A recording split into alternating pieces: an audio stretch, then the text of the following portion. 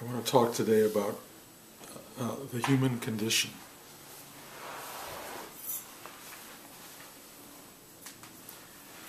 I'm going to start off with a story from when I was a kid and living in Greece. I lived up the hill from a slaughterhouse. And my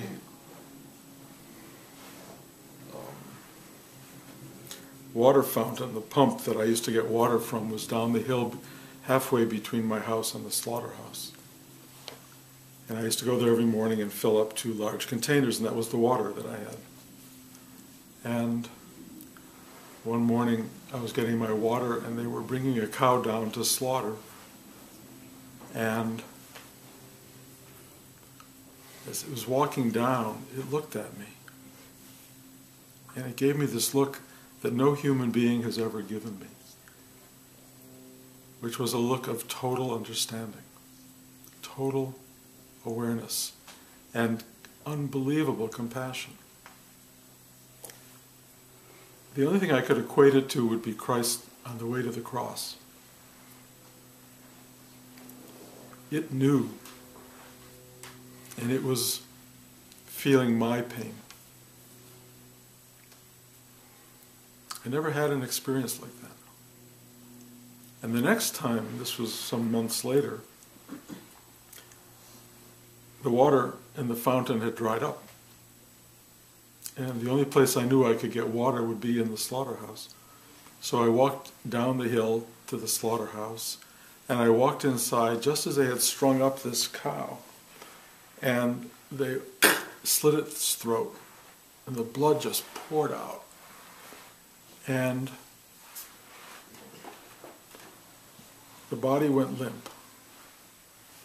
And I saw this thing, and I don't even know how to describe it. It was like a tiny little spot, a principle, an identity, whatever it was, it left the cow. And it went back into the atmosphere, one with the atmosphere, and at that moment the cow's body went and it was dead. And I knew in that moment that that cow had always been this tiny point of identity, this tiny point, tiny point of presence or soul, whatever you want to call it. And it had allowed itself or had been brought into the world so that a huge body of meat could form around it to serve people literally and figuratively. And the minute the consciousness principle left, there was nothing but meat remaining. I had been a vegetarian for years up to that day. That night I ate meat for the first time. I think most people see a cow being slaughtered and they think, I'll never touch meat again. For me, it was exactly the opposite. I understood why it had been here, why it had come into the world, and the offering that it was giving me and those of us who partook of its meat.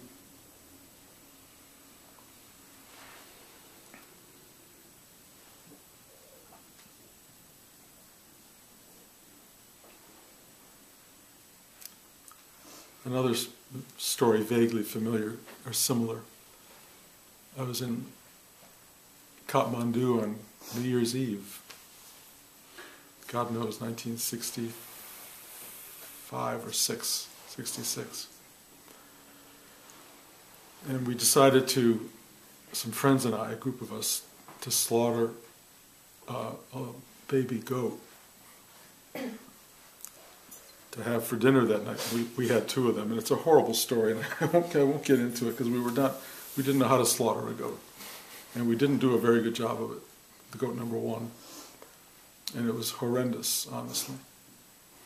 Goat number two, some passing Nepalese offered to slit the, its throat, cut off its head for us if we, they could have the head, because they looked to that as a delicacy.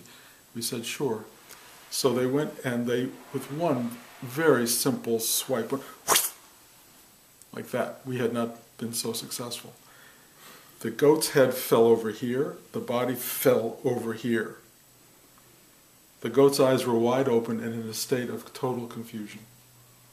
The body was trembling separate from the head. And I kept staring at the head because it was so powerful. Its look of what is this? What is what's what's this about? Hand is shaking here. See those of you who are watching, the body's trembling, the the head is looking around, and then all of a sudden it saw something, and it went, and its eyes went up into its head, and its body, totally separate, went ah, and it was over. And I could feel that the connection between the head and the body had nothing to do with physical anything. It had to do with something else. Because the body died at the same time that the separated head let go. So, why am I telling you all these gory stories? Uh, well, for one reason, we're all on our way to the slaughterhouse whether you want to believe that or not, accept that or not, whether it's going to be as gruesome as that or not, I can't tell you. I will tell you my intimations of old age have been pretty powerful, and they aren't pretty. you know, it's all we all end up in the same place. Um, what do we face when we get there? Well, you know, you can follow any religion you want to find out an answer that makes you happy. But mostly, mostly, we are not unlike the cow. This principle of consciousness or awareness or presence around which forms this material body. Why does this material body form? I cannot tell you. But I will tell you it formed around the cow so that we could partake of it that it would nurture us, it would feed us, it would keep us alive.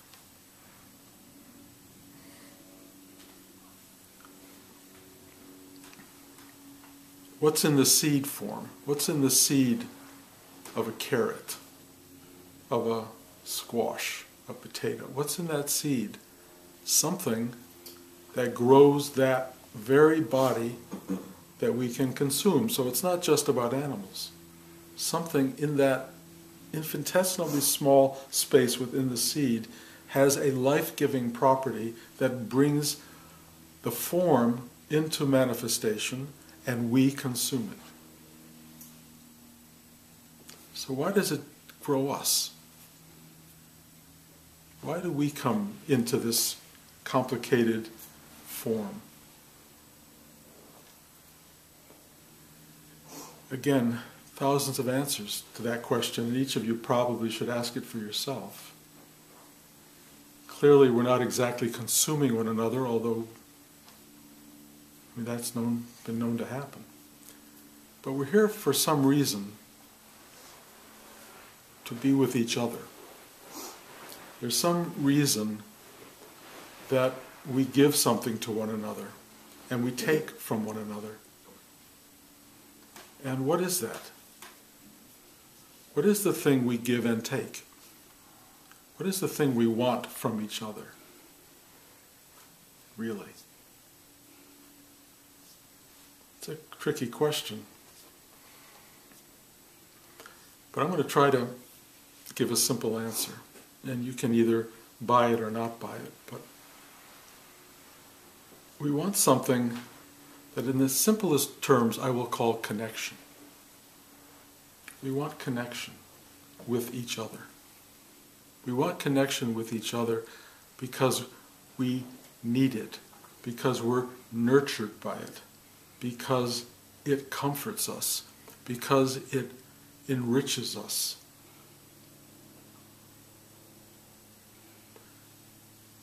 We come to feel our own existence essentially in the reflection of and the connection to others. if you were sitting full bodied in a blank room with no one ever around you, would you ever come to know who you were? How would you come to know who you were? Would you become to, would you begin to think you're a brick? Series of planes of different planes, hard, solid, dense, cold. Would you have any sense of how to function as a human being? Would you have any sense of what all this was for? Of course not. You need others. And what's the thing that you need more than anything in the world? In the beginning, two things mother's milk, which nurtures, and being held. Being held connection. Sucking, filling yourself with this extraordinarily delicious, life giving, warm energy of mother's milk. And the other is being pressed to the bosom of your mother, and when your mother's not available, anyone else will do. You want to be held. You want to be embraced. You want to be comforted. We all do. And just because you've become an adult human being, that has not changed for a second. What you have lost, unfortunately, is your mother and her ability to do that. Not all of us. You guys are here together today, mother and daughter. You still have that opportunity, but you can't be hugged in quite the same way.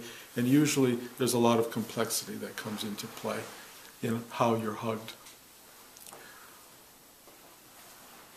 But there is a purity in mother child relationship that is the one thing we seek continually in our lives. And what it's really called, more than connection, is presence. In other words, being with another. Being with another is the most important thing in our life, and we live for it. We live to connect and be with each other, or at least one other.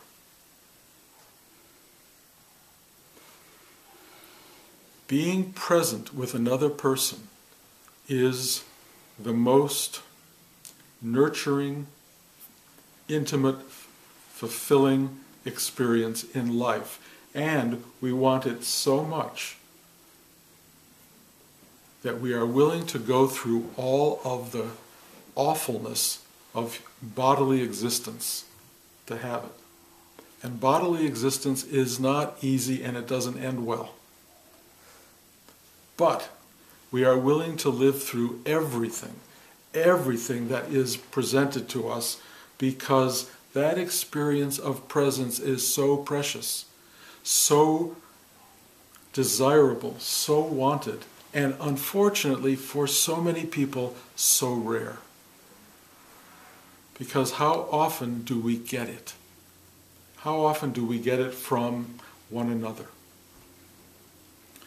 Once your mother stops cradling you where do you go for it? Well, of course, there's this enormous drive towards sex. Sex and intimacy is probably the biggest drive there is in the world other than eating and sleeping. We hunger for that intimacy. We hunger for it. And one of the ways we seek it out is we seek it out because it provides us with pleasure, enormity of pleasure. But what we're really seeking, I know this may not be totally easy to believe, is the moment after orgasm. Intimate stillness with another, pure connection with another. That is what people truly seek. It's not easy for many people to have that experience for a lot of reasons. when you're a baby and you begin the journey into life, you begin to separate from mother, you begin to separate from others, you begin to distinguish yourself as a separate entity. That separateness is the cause of your suffering. It is what you are in the world. It's the only way you can function in the world. But the minute you become a me, the minute you become something that is defined in opposition to or in differentiation from everything else, there's suffering. And all you look for during that period is sex, food, sleep, and connection. That's what you look for. Acknowledgement. Sometimes you have a big need for it. You need to be famous, lots of acknowledgement. Sometimes you're satisfied with just one other person looking at you lovingly. But let me describe for a moment what connection and presence is, how available it is to everybody, how, in a certain sense, it's never not available, and why it's so hard for people to get it. Presence is awareness of being. It is characterized by a sense of openness, truth, simplicity, comfort, joy, expansiveness, oneness, wholeness. These are all qualities of being, of presence. And we look to others for it because we don't always have direct access to it in ourselves. One of the things that leads people to meditate and to pursue a spiritual life is because they are starving to death in the world. They are starving to death in their connections with others. Nobody is giving them what they need comfort, protection, presence, love, to a degree that will take care of their sense of separateness. So, people who come to meditate want to find that space, that openness, that freedom, that sense of whatever it was they felt as a child. And it's there. It's there. If you go into your heart chakra, if you sit quietly for a period of time, if you can still your noisy mind from rejecting everything around you and from rejecting yourself, from making all of these things that keep saying, I am this, I am that, which are the very forms of separation. I am happy. I am this person. I am beautiful. I'm not beautiful. I'm terrible. I'm wonderful. All of that separates you from everything. It's an I am something else. I am this or that. But when you stop that for five seconds, ten seconds, what you begin to feel is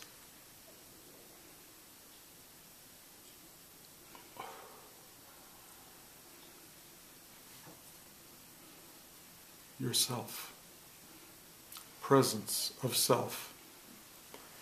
And if you get really still, I've described this many times, there is this thing that happens in your heart chakra that just goes, and you enter into the portal of being. It's your true being. It's right there inside you. It is right there inside you all the time. And if you are able in your meditation to go in and enter that space, it's available and you can find yourself being comforted, loved, made whole by your own inner truth. But then you stop meditating. You're done with the class, you're done with the session, and there's all this around you. All these other people who make this very uncomfortable. How can I feel that when I'm dealing with all these crazy people? All these people who want something from me, who need something from me? Well, all I can tell you, and this is something I learned a long time ago, whatever altered state you ever get into, including your own presence, you keep coming back to this other people. Sartre called other people hell. Hell is other people. Some of you may have experienced that. But everyone you come back to in the world around you is a reflection of and a manifestation of exactly what you are. That presence, that thing which you are deeply inside and around which this body has assembled itself, is exactly what all these other people are who are you're looking at. They are your presence, this presence, which is not yours, there's no ownership of presence. They are the exact same presence in the exact same state of confusion you're in. The exact same state of alienation. And, and they have no idea how they got in a body, why they're in a body, what to do with it. And what they're looking for is somebody to connect with that will make them feel whole and complete. And those who don't know how to meditate will always, always be looking elsewhere for it. But if they haven't found it inside, even finding it with another person only suggests the possibility of what it can be. What you want is to find presence in yourself and then to find it within another. And then the two of you come together, and as Christ said, when you gather in my name, I am there. When two people share presence, you attain the most beautiful state of existence imaginable on the planet. It is what we seek presence with each other. We want to be one with one another. You don't have to have sex with everybody. Some people think that'll work. It creates more complications. What you want is to be present with one another and maybe with everyone. Everyone. So here I sit in the class, having spent years working to discover and to uncover presence, working to be allowed to share that presence. What has happened for me is, is a remarkable thing, which is that presence has announced itself in a, in a sense, a permanent way. Awakening is to the truth of presence. Awakening is to allow your person, your own self, your own ego identity to dissipate, at least for a while, and then to see this presence imbuing you and imbuing everyone around you and everything around you. There is nothing that is not made up of presence, nothing. And then, of course, your ego comes back and it works, but you know suddenly your ego is part of presence. And so presence is absolutely everywhere all the time. And you walk around in a state of presence. And I keep saying, How did I get so lucky to be allowed to know this? And I realized it took an enormous wish on my part, an enormous wish, and a lot of what I call sacrifice. You know, I go back and I look at, you know, I had a job as a film editor at NBC, and I you know, I said, no, this is not what I'm looking for. And I left a very secure job, what seemed secure, and I went off to India and I went in search of teaching.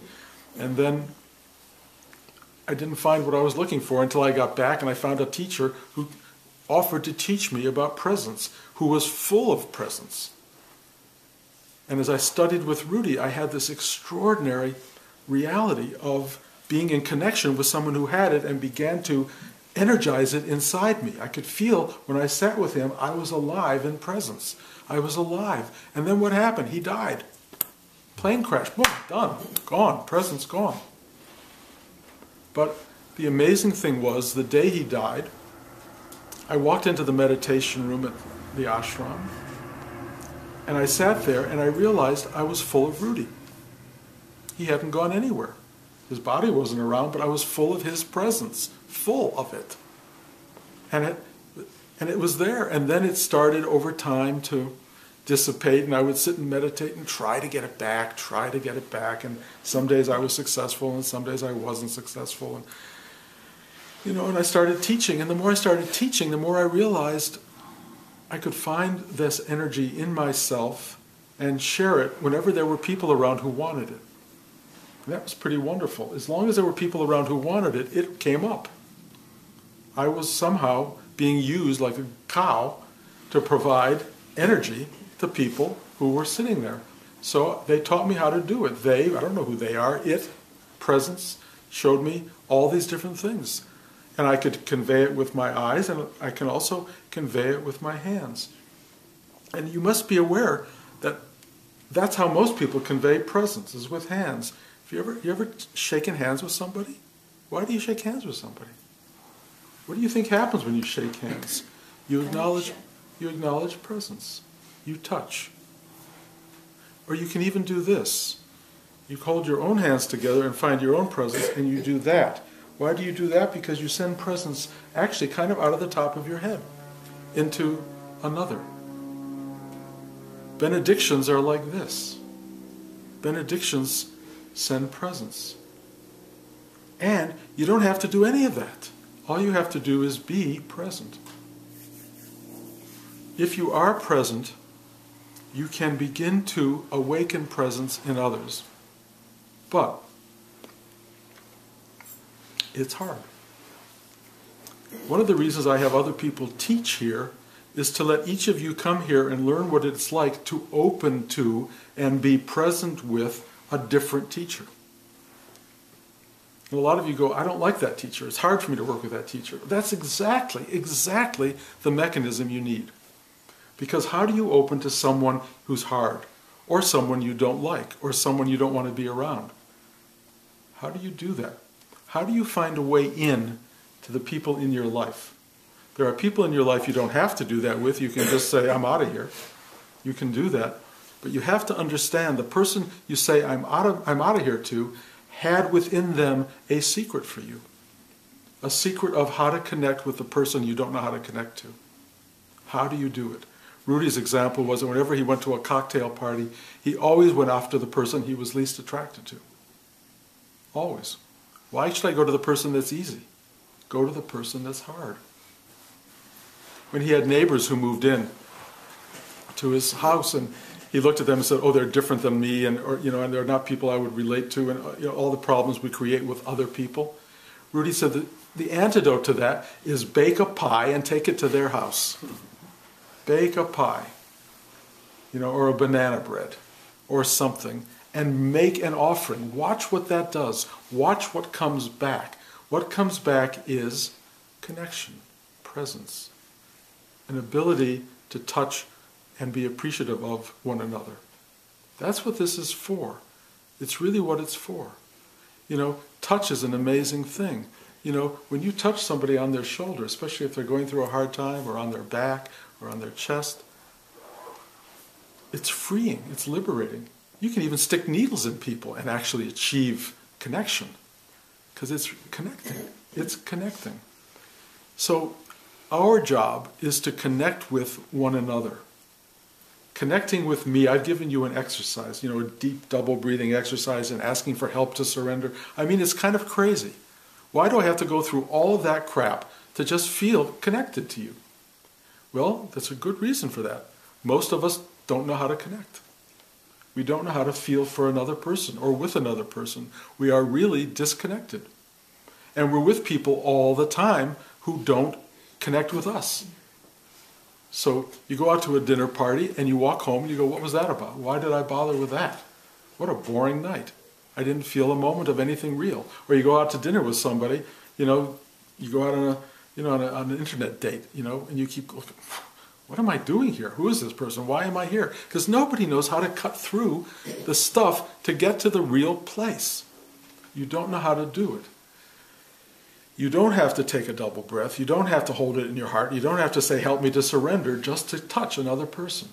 It can work. It really does work if you're very blocked inside or very distracted, which is the condition of most Western human beings, most people.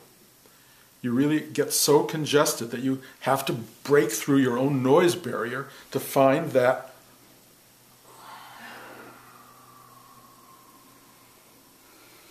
available space.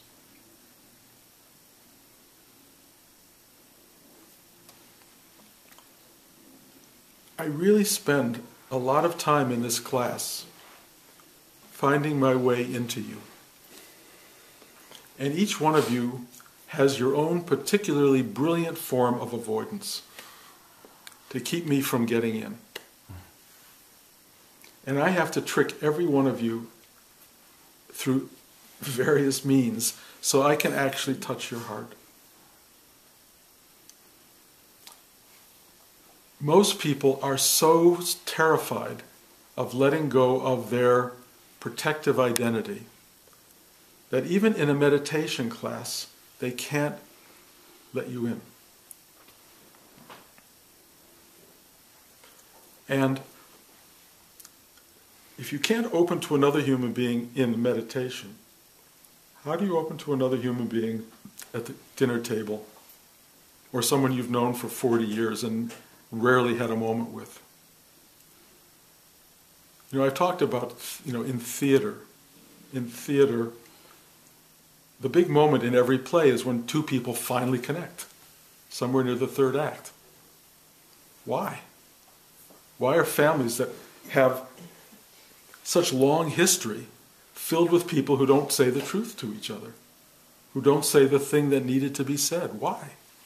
Because they don't know how to do it, because they're scared to death, because their armor, their armoring and their density and their conf- conflicts are so overwhelmingly present for them that they can't find this gentle, sweet thing that's at the core. Mm. And you want it so much. You know, I have children, you know, and, you know, they each offer different forms of resistance and different forms of access. But I knew them when they were tiny. I knew them when there was no resistance, when there was no separation. I knew them when I cradled them and when Blanche cradled them, and there was nothing between us. And then the years grow on, and there's this density of stuff between you, and then you have to keep finding your way through that into that place of this. And trust me, they want to go there. They want to go there. It's very hard for an adult male to say to a parent, particularly a father, I need your hug, I need your embrace. They can't do it. But it has to be done. It has to be done in some way, often subtly. You may not always get the physical embrace, but here's what you get. You sit with a person who you want to connect with, and you open in yourself to your own presence. And you let the love and the acknowledgement and the comfort and the truth of that moment be present. You don't have to do a lot with it. You just have to be present with it and watch what happens. You really, really and truly can find a way to be with that person. They may be talking about stuff that completely bores you, but go toward it. Don't go away from it, go toward it. Embrace their dialogue. Be with them and watch what happens this presence starts to fill the environment in spite of the density that's in between you. The sweetness of connectivity is there. Many people on the holiday season go home and they have this thing with their parents, and usually there's, or with their family, and there's all of this unbelievable chaos and difficulty. Sometimes, however, and almost always, I suspect, there is one moment of like, this is what it used to be like. This is what it was like. You connect, there's a warmth, there's a beauty, there's a joy, and it makes the entire journey worth it. But all I'm saying to you is it can be more than that little momentary flicker of what was or could be. It can be that as a constant state. You can have a constant state of presence and openness and availability that brings you into a place of continual observation, of continual learning, of continual amazement, of absolute gratitude and wonder all the time. It doesn't free you from the human condition of suffering, it frees you from caring about that. You just go, it's worth it. It's worth it.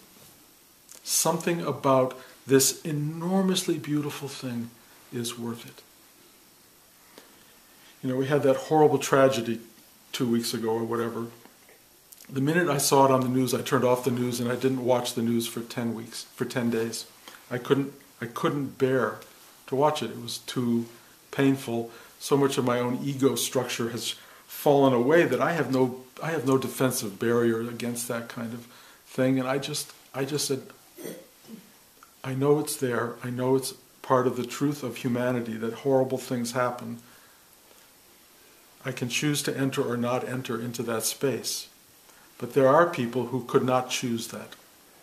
There are people who were in that space and, and were going to suffer with unbearable suffering. The loss of something or someone you love, especially a child, is truly the loss of the presence of that child. Only a parent can understand this. But it is unbearable to lose a child. And when that child's absence is filling your space, really what's happening is their presence is filling your space. I will tell you this in the greatest of tragedies of that nature, the presence of that child will never go away. My mother in law lost two boys, two children. She never stopped crying about it. She never stopped talking about them. They were there to the last day of her life. I know this sounds horrible on some level, but I will tell you what's meaningful about it. They are your doorway to presence. The lost people in your life are your doorway to your own self. They will lead you into this depth that you cannot access with many other mechanisms. Finding that truth and ultimately opening to it and allowing it to be there takes you to a place of profound knowing, profound realization of the human condition. They know the human condition more than most of us. If you meet people who've suffered tragedy, they look at you differently. They look at you like the cow that I saw going to the slaughterhouse. They know something. They know it. We are babes in the woods looking for it, looking to discover what they know. You don't have to go through it that way. It's just one passageway. Another passageway is sit and really ask. Ask. Feel the willingness to let go of everything comfortable. I know when I left my job at NBC, when I when I did all when I left my I, I left my, another job at the Whitney Museum to go join an ashram in Indiana. I, I left uh, DeKalb, Illinois, not that I had anything there very much, but I went with nothing but my wife and kids into the world, into the unknown. Every one of these was an act of prayer, if you will, an act of saying, please embrace me. I will follow you and give up everything that separates me from you. That's what it takes. It takes an enormous willingness to give up everything and follow yourself. Follow the truth. It's what we're all hungering for, and it's worth it. It's worth it. It will not happen out of a casual, every so often meditation. It won't happen just because you sort of think, you know, I kind of want that. You know, God, the universe, that which, which is, knows the truth. You can't hide your truth. It knows what you want, and in fact delivers what you want. If you want superficial relationships that don't threaten you, it will give it to you in magnitudes you can't believe. If you want truth, if you want connectivity and presence, if you want to be freed of your illusions, it will bring that to you. That's what this is all about. None of you are sitting here because because you don't know what I'm talking about, that you just happen to be in town. You all know what I'm talking about. You do. You all know what I'm talking about. And it's really your call. What do you want and how much do you want it? What are you willing to pay for it? Don't come here week after week after week after week and say to me, I want it, and not take it. Because that's hard for me to deal with. You know, I can sit here with you forever. Rudi taught me about patience. Patience is a great thing. But ultimately, you have to get what you want. And I have to assume in the end that you've gotten what you want, and that we all do. The sad part is what we want in most cases is so small and so unimportant. I will tell you, having created a decent resume for myself, it doesn't have to do with the resume. I will tell you that. It doesn't have to do with your career. It doesn't even have to do with how many children or grandchildren you have. It has to do with finding yourself, finding your presence, finding your own being, and really opening to it so completely that everything that's not that falls away. And then you live a life of amazement, gratitude, wonder, and sorrow. Sorrow because you're in a world where so few people will reflect that wonder and gratitude and amazement back to you. So that's the human condition. That's where we all are. You're all somewhere on that spectrum. You have to kind of figure out for yourself where you are, what you want, but I'll tell you the, the greatest thing to know, the absurdity of all of this, is you are, as we speak, every one of you present. Every one of you is already the thing you're looking for. Every one of you has it. Every one of you is infinite, eternal, and unique and remarkable. Every one of you is extraordinarily real. And all I want is for you to know that. And all I want is for you to find that out. And when you do, all of the illusion, all of the crap just kind of falls by the wayside, and you go, oh, wow. It's really, really simple. It's really simple. It just happens. But it doesn't happen if you aren't participating in the wanting it to happen.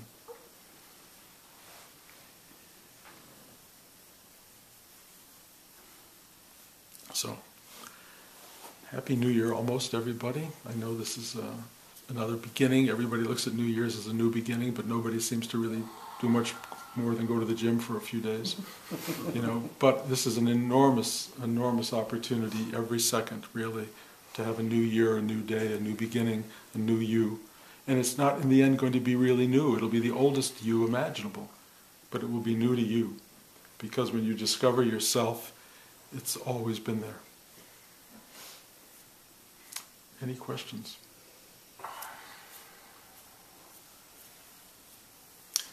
Okay. Happy New Year.